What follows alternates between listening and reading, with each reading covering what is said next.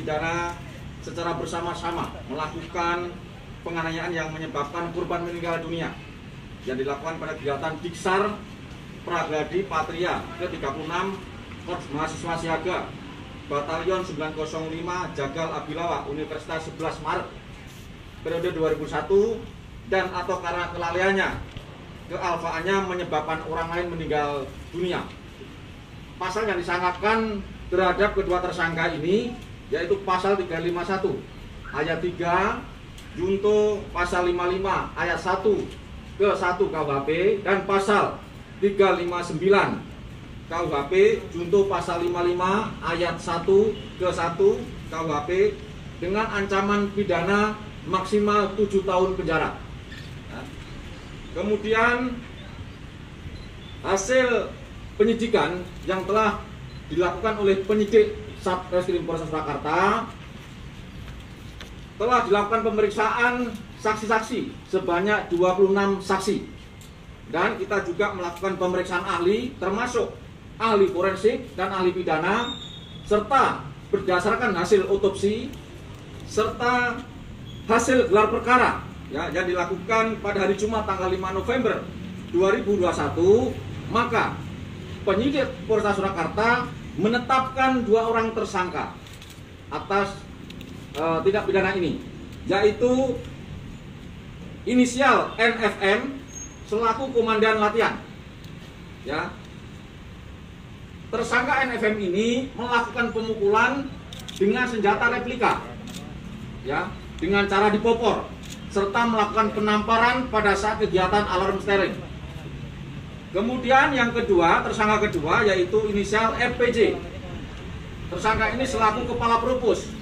Ya. Dia melakukan pemukulan setelah kegiatan rappling dengan menggunakan matras. Ya, dengan menggunakan matras.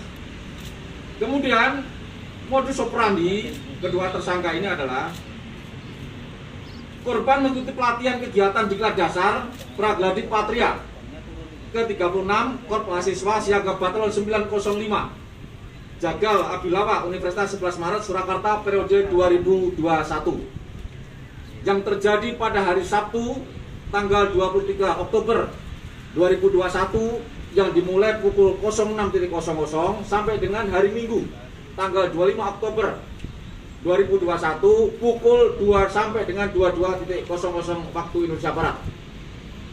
Kemudian korban mengalami pemukulan dari pelatih dengan cara dipopor dengan menggunakan senjata replika laras panjang. Dan pada bagian helmnya ya yang digunakan korban serta dipukul dengan menggunakan matras. Dan penyidik melakukan penimbangan di atas eh, di Dinas Perdagangan UPT Meteorologi Legal Kota Surakarta sehingga didapat hasil senjata replika laras panjang dengan berat 3606,88 gram. 3 kilo. Ya. Dan helmnya dengan berat 1170,76 gram. Ya. Sehingga kur, mengakibatkan korban meninggal dunia. Ya. Kemudian eh, kami sampaikan ya kronologis perkembangan kasus atau perkara ini yang dilakukan oleh penyidik Satreskrim Polresta Surakarta. Yang pertama eh, penyidik telah mengirimkan surat ya surat pengiriman berkas tahap 1 kepada JPU ya yang dilaksanakan pada tanggal 30 November 2021. Dan yang kedua uh, pada tanggal 13 Desember 2021 dari JPU mengembalikan berkas tersebut karena ada kekurangan berkas. Ya kekurangan berkas yang harus dilengkapi oleh penyidik Polresta Surakarta. Kemudian pada tanggal 22 Desember 2021 penyidik telah mengirimkan kembali penyidik telah melengkapi berkas kekurangan tersebut dan mengirimkan kembali kepada PJU. Ya.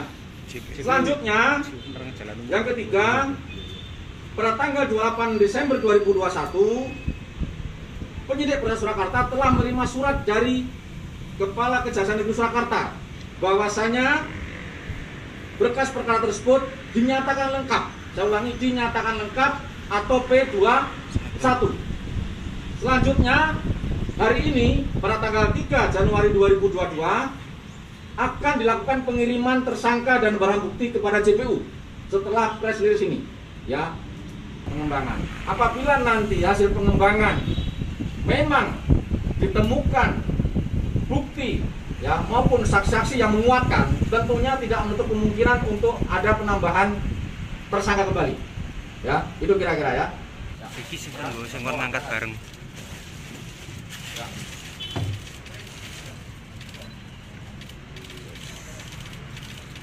Nah, sana dulu, sana dulu ya.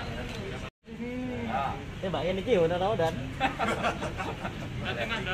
Persoalan iki buntut ya. Ini satu pertanyaan.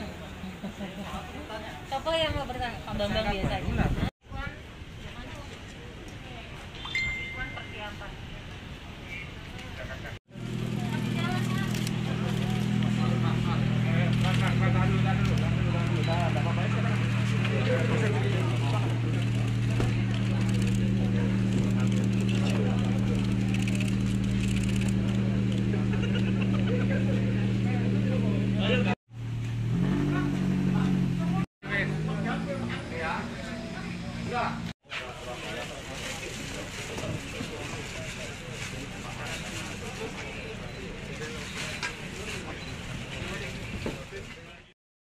Jangan lupa follow, like, dan subscribe sosial media Tribun Jateng.